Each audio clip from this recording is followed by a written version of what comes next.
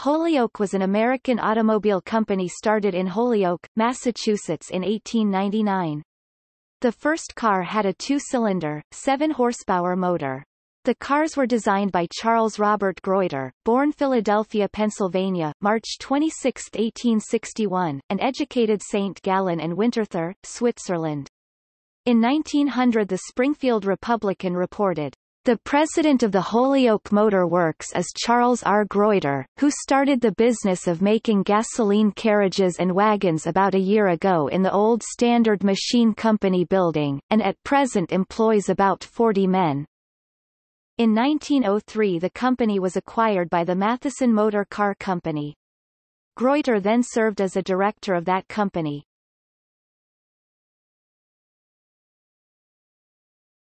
Topic. See also. Matheson automobile